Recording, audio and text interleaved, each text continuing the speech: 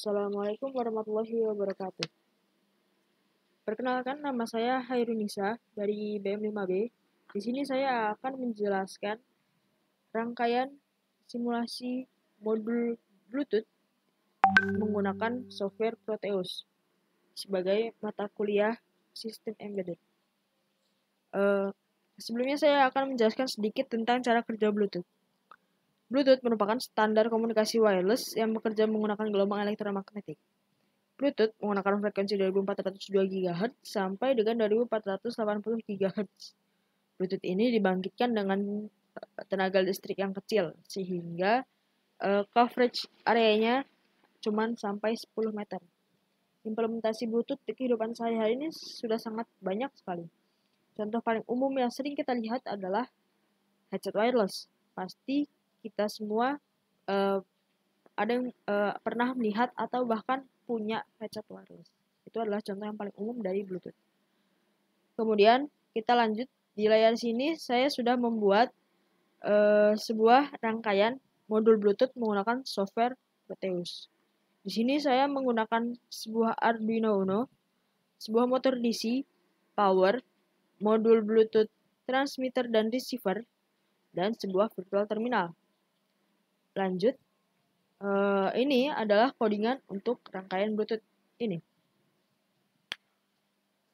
Pada awal rangkaian, eh, pada awal codingan dituliskan di sini uh, ada uh, deklarasi variabel ML yang diisikan A0. A0 ini merupakan pin merupakan pin yang ada di uh, board Arduino ini. Kemudian kita mempunyai variabel H yang berisi 255 255 ini sama, uh, sama dengan 5 volt atau high voltage. Kemudian kita memiliki sebuah variabel L yang diisi dengan 0 atau low volt. Kemudian kita memiliki sebuah variabel yang bernama motion dan motion ini uh, memiliki tipe data string. Uh, lanjut, pada setup awal mulai rangkaian, kita akan mengisi baud rate virtual terminal ini dengan 9600. Kemudian kita akan memberitahu kalau ML ini adalah sebuah output. Lanjut, pada saat rangkaian dijalankan, yang pertama kali berjalan adalah uh, akan tercetak uh, kalimat tulis P untuk mulai dan S untuk berhenti di virtual terminal. Uh, selanjutnya akan ke, masuk ke dalam looping while uh, yaitu apabila serial term, uh, virtual portnya ini sama dengan nol, uh, dia tidak akan melakukan apa pun.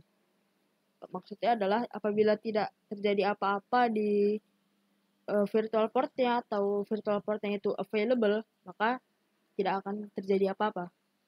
Kemudian kita akan mengambil input user menggunakan metode read string yang akan dimasukkan ke dalam uh, variable motion lanjut ke dalam if statement.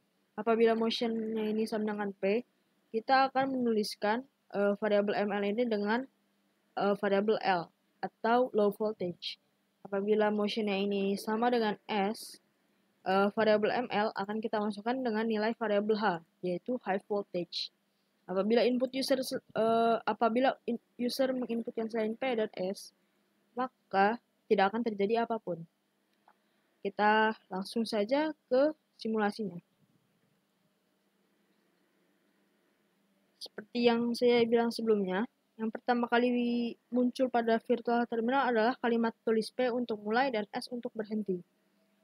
E, dalam keadaan rang rangkaian awal dijalankan, ke, e, motor di sini sudah dalam keadaan berjalan. Apabila saya tulis S, maka uh, motor DC akan berhenti. Apabila ditulis P lagi, motor DC ini akan kembali berjalan. Kenapa uh, apa kalau dilihat dari codingan, jika kita menulis P, kan variabel low yang dimasukkan. Kenapa hal ini terjadi?